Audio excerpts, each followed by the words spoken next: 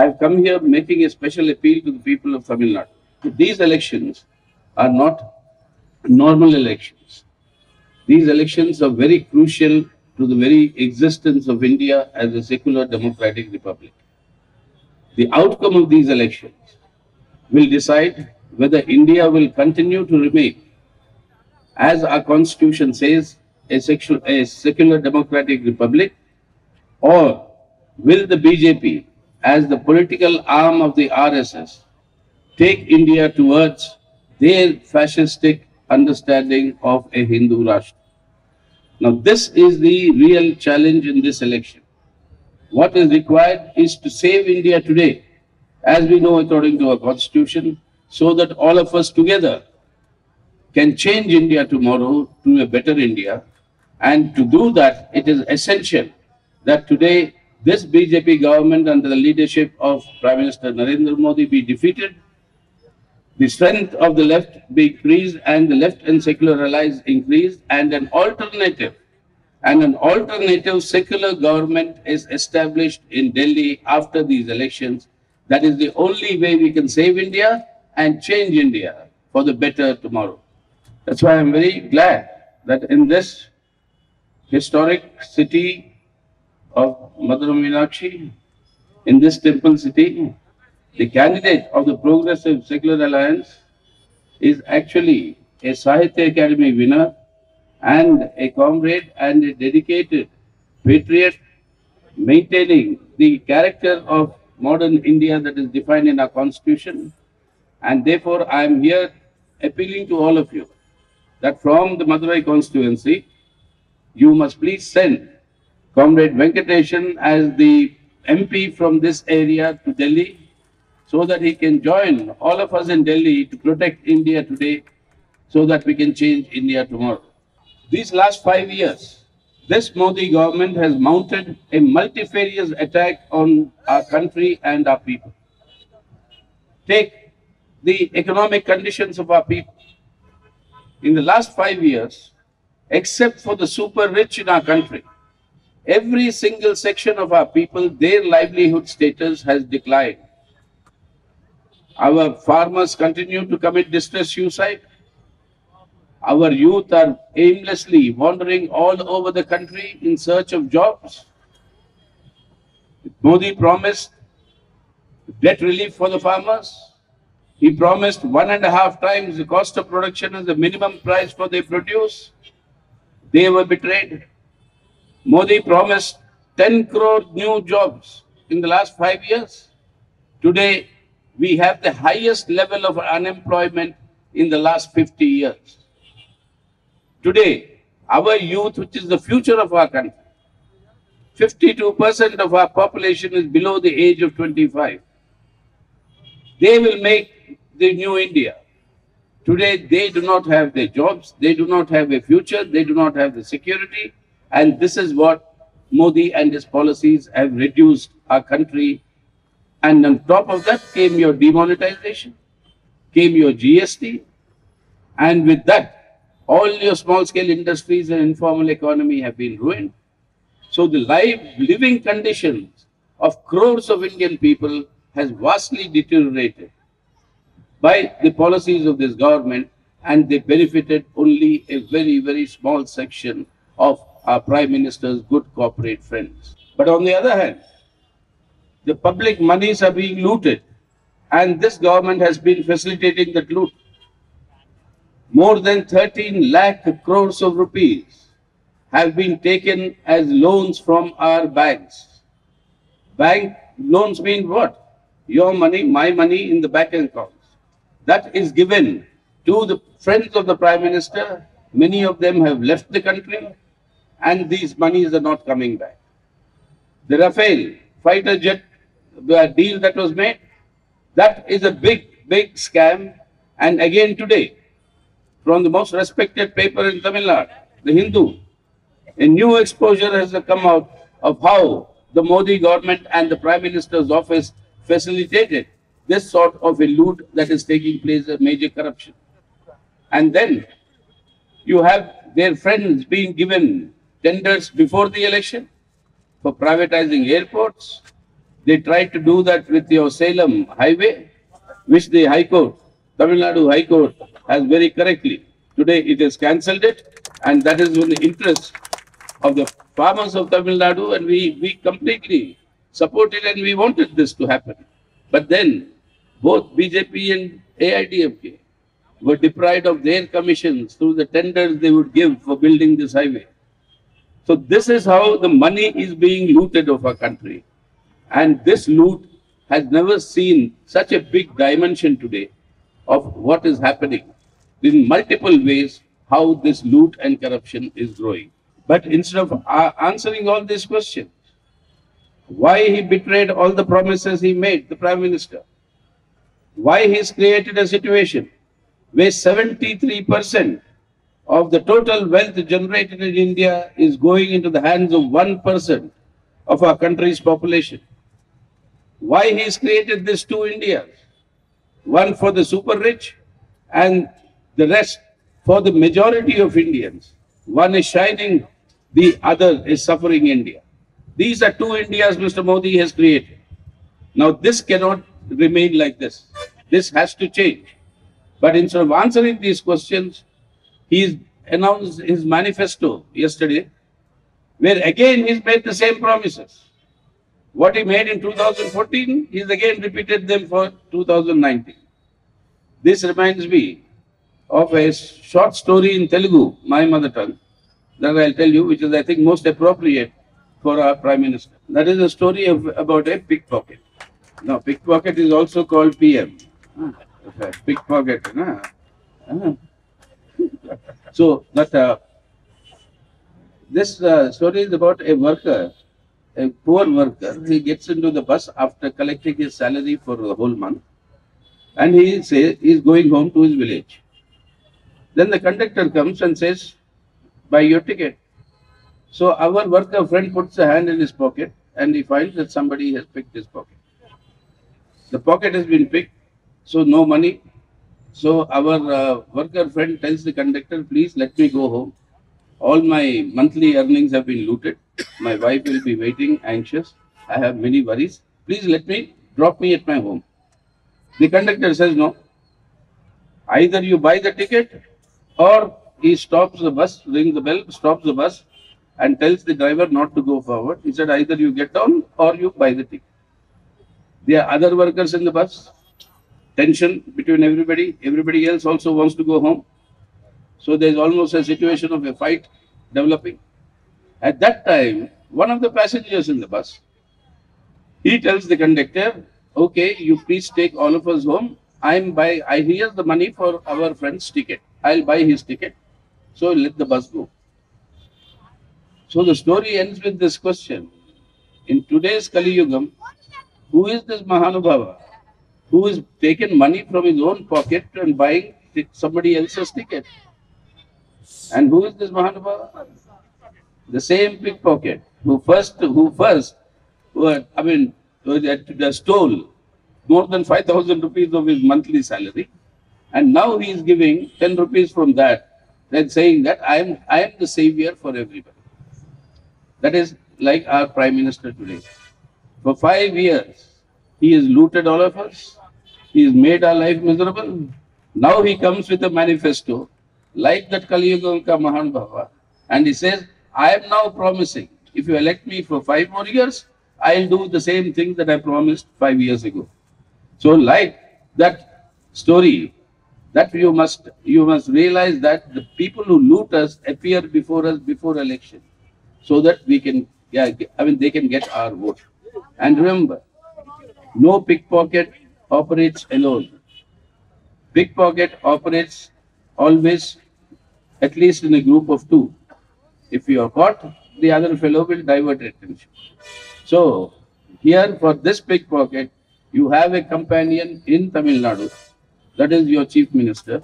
So the PM and the chief minister together, this is how they are looting before the elections. We must beware of that and discard their pre-election promises that they make.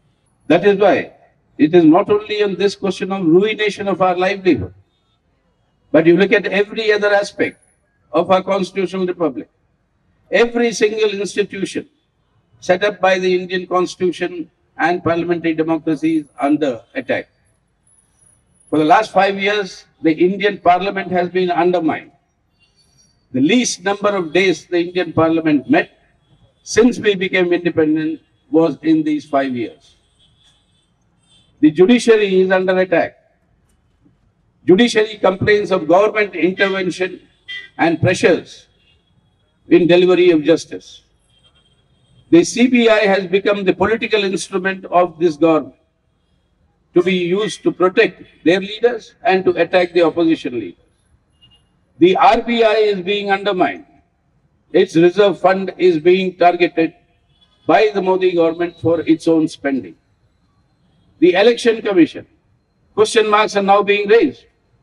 Even today, first phase of election is day after tomorrow. Campaigning is supposed to have stopped already. But then you will have the Namo television, which does not have a license, which has not got a legal entity, that campaigning with the Prime Minister campaigning, but no action is being taken. The, the film produced by on the Prime Minister Narendra Modi, that has been cleared to be shown. Remember in your Tamil Nadu, whenever a film actor or a film personality, which you have a large number of them who have, who have come into politics, when the election is going on, their films are never allowed to be shown. How is, how is Mr. Narendra Modi's film being shown? These are the questions that are rising that institutions are being undermined today. Institutions are being undermined today, and that is very dangerous because undermining our parliamentary democracy and constitutional institutions means the effort to transform the secular democratic republic of India into the RSS version of a fascistic Hindu Rashtra that they have been aiming since before independence. The BJP is only the political arm of the RSS. And that is why, on this count also, this government will have to be defeated Otherwise, we can't protect our secular democratic republic. There's one more reason why this government must be defeated. That is the manner in which they have sharpened communal polarization during the last five years. In many parts of the country, there are private armies that have been created in the name of cow protection, in the name of moral policing, meaning they will tell our children what dress to wear, what food to eat, whom they should befriend, all that will be dictated by them. And anybody who doesn't follow that will be attacked. Dalits and Muslims are specially targeted and killed in the name of cow protection. The social unity of our country is being torn asunder by sharpening of this communal polarization and all the communally divisive agenda are now being raised again before the elections in order to consolidate the Hindutva communal vote bank.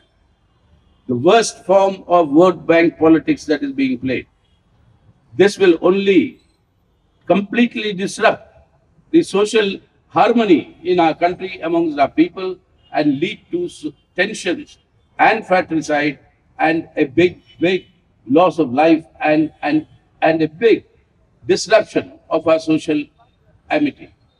Now, this is very dangerous in a country like ours. With such a diversity, if you sow the seeds of discord, this country can never remain united. That is exactly what they are doing. And in order to keep our country united, it is necessary that they should be defeated. But the Prime Minister and the BJP don't answer any of these questions.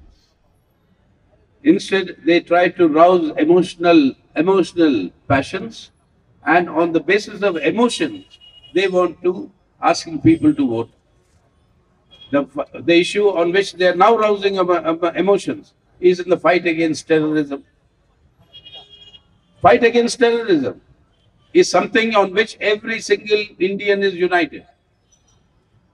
Fighting terrorism does not mean fighting by ruling party or by the opposition party.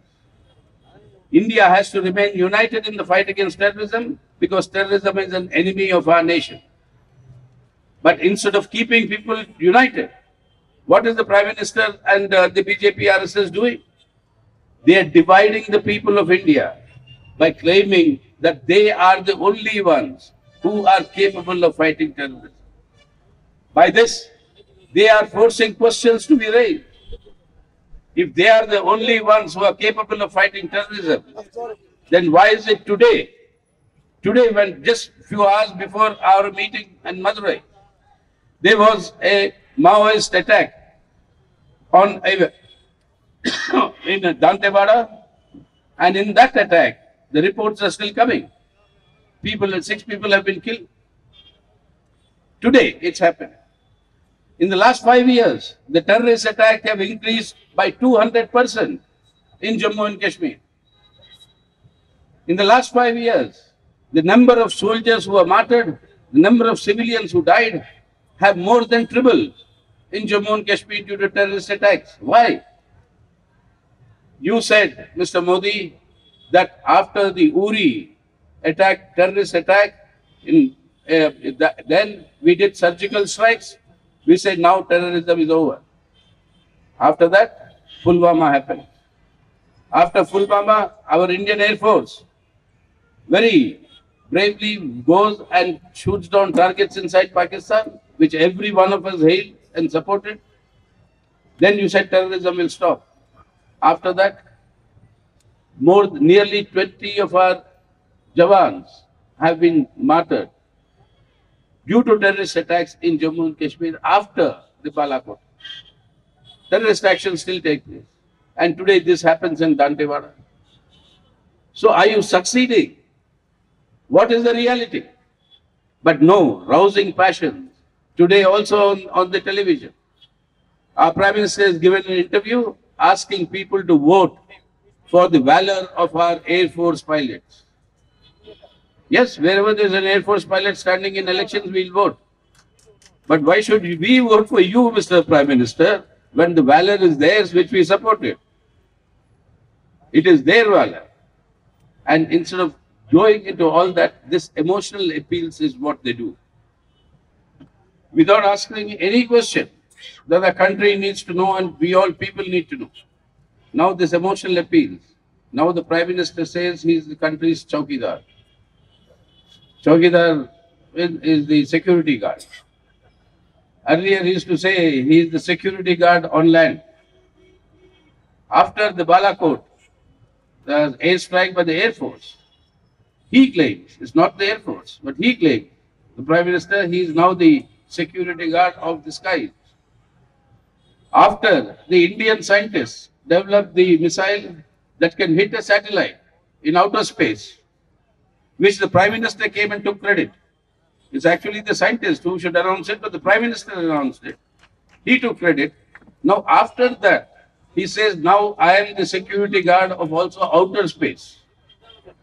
So I think all of us should tell our Prime Minister, sir, you please remain the security, security guard in outer space. Leave the world and India to us. We'll, we'll save India and we'll create a better India. So you please stay there in outer space. Anyway, this Chowkidar also reminds me of a small story. Uh, so that, uh, again, it's a Telugu story.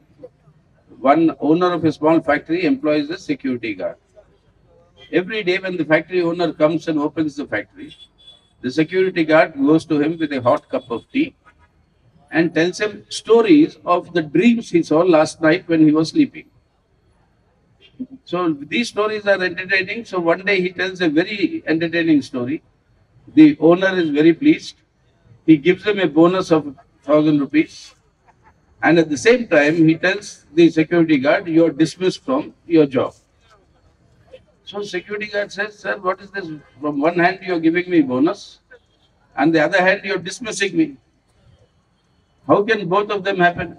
He says, I am giving you the bonus because you tell me your dreams which are very entertaining. Because I like that I'm giving you the bonus. I'm dismissing you from the job because your job is not to sleep in the night and see dreams. Your job is to stay awake and protect the factory. That job you're not doing, therefore you're dismissed. Our Prime Minister is like that. Every day he'll come for the last five years. Every day he'll come with a new slogan. Stand Up India, Start Up India, Digital India, Swachh Bharat. Every day a new slogan. Every day he tells us a story. But now we have given him bonus for five years.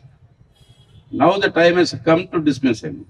Because the owner of the Prime Minister is the people of the country. Like in the story, you give the bonus which we have given, now the time to dismiss him. Without that, we can't protect our, our people's lives, livelihood, and the property of India. And in order to protect it from a chowkidar who sleeps at night, instead of staying awake and protecting, he must now be dismissed. But finally, that job is not over only by defeating the BJP and the Modi government. We require to establish an alternative secular government, which will not only protect India and its people, but will also change the policies in pro-people's direction. And this is exactly like what was the situation in 2004. And I remember in 2004, when the UPA government was being formed, Kalaignar was there at that time. We were all discussing with all the issues of what should be the alternate policies, and the common minimum program has come. And because of that, because of the strength of this alternative, the progressive secular alternative as it's called today, because of this, many new things developed, happened, never happened after independence. The right to information, the right to right to food security, the right to rural employment guarantee, the Forest Rights Act for our tribals, the right to education. All these rights that are pro-people could be brought about because of the cooperation and the consistency of the secular force, progressive secular forces. Today in Tamil Nadu, we have today that combination of this progressive secular alliance under the leadership of Thiru Stalin today in the state. And I'm now, just now coming from Kovilpatti. Kovilpatti, Kanimozhi was there and we were addressing the meeting together. And Kanimozhi and I have been colleagues in the Rajya Sabha for many, many years. And while I showed them there that she is required to be sent to the Lok Sabha, likewise from Madurai, our comrade Venkatesan is required to be sent to the Lok Sabha because you will require. It is this combination. It is this combination of this progressive secular alliance that in today in Tamil Nadu that is working in the most most effective and efficient manner. That all the poll surveys are also saying that out of the 39 seats and one of Pondicherry if you include, out of that, the Progressive Secular Alliance will win more than 35 seats out of the 40 seats and that is their own sir, predictions. They are not pro us normally. They give only uh, predictions on the opposite side. But that is giving, that means that there is a big groundswell of people support. And that is why my appeal to you. There are assembly elections also, by elections.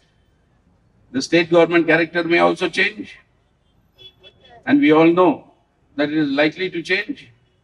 And then big responsibilities will be there on Thiru Stalin, how he'll lead the thing, what, what will happen, they'll decide.